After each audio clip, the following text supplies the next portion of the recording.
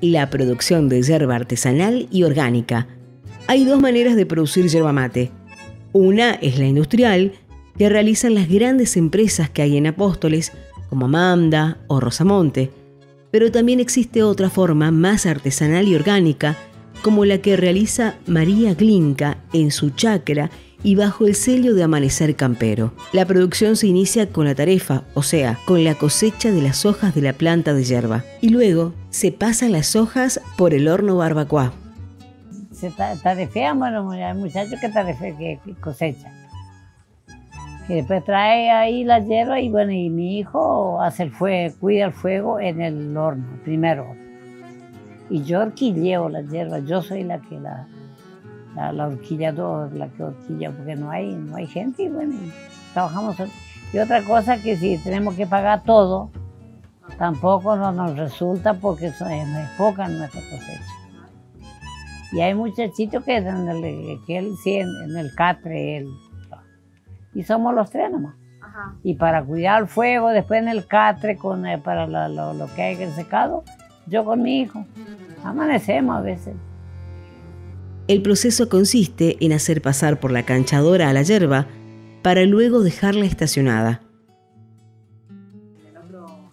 Claro, queda en el catre, queda cuando se pasa, se, se ya pasa por la canchadora, que se hace la canchada, ahí se pone en el depósito, se estaciona. Nosotros estacionamos, eh, hay muchos que, que un año de estacionamiento, pero acá vino un ingeniero y vio, hizo, pidió para, para venir cuando estábamos secando.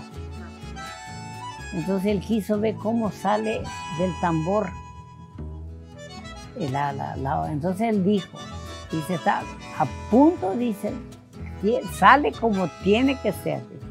Dice, son pocos los secaderos que salen, tienen esta temperatura, dice, con esta, esta, dice.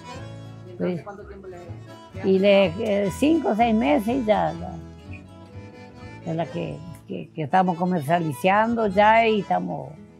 El horno barbacoa se alimenta con una madera especial, el eucalipto, que tiene algunas características especiales. El eucalipto.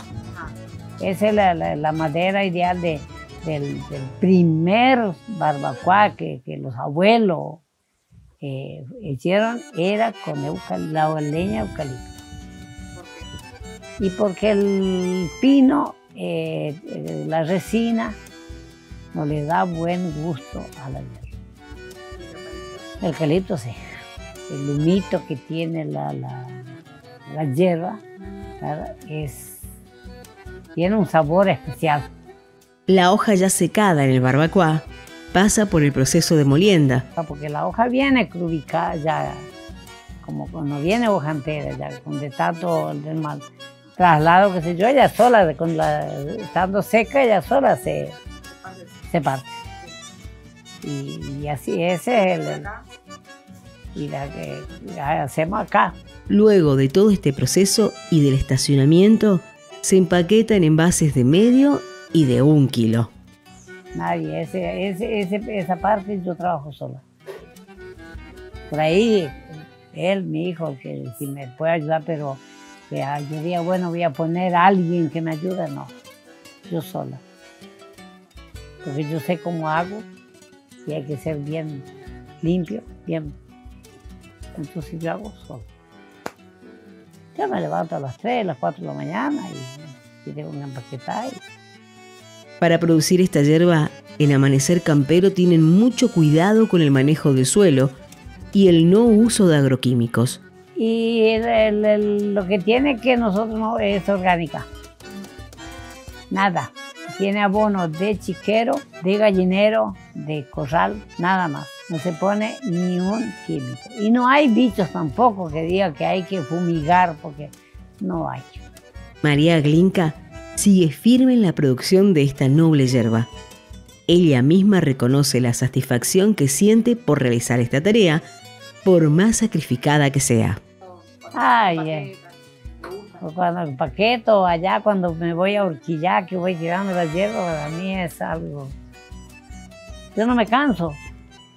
No me canso, yo iba a estar todo el día ahí. Y a veces como con la orquídea, con la mano. Me gusta tirar con la mano que, que lleve la...